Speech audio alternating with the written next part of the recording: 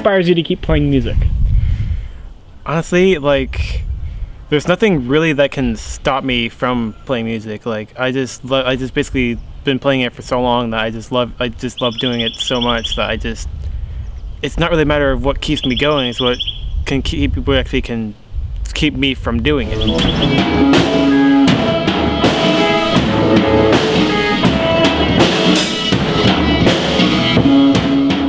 Why did you get involved with this music project?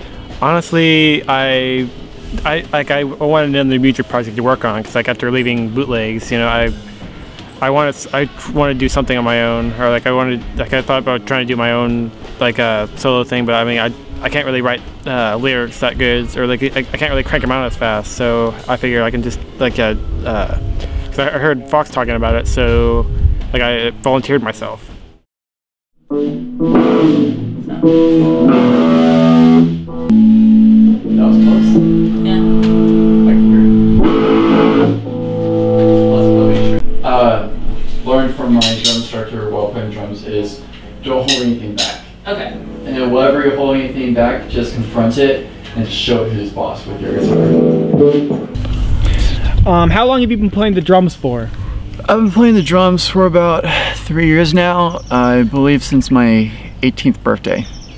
And so I got into them, got them for a cheap set, built from them, and uh, took some lessons. And I haven't played, had any lessons since last year, so I'm really hoping to get back into uh, my uh, drum lessons again with John Bassa. I love um, punk, hard rock, metal.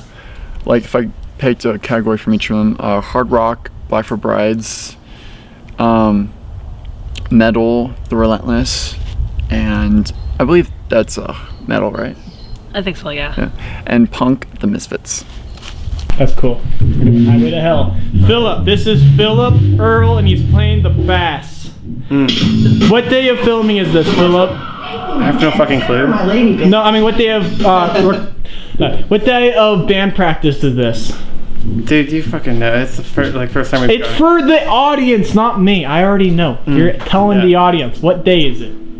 First time we've gotten together. Yeah, yeah. Try bass and you try guitar. I mean, oh boy.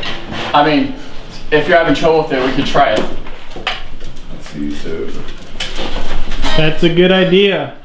Maybe Philip will be a guitarist again.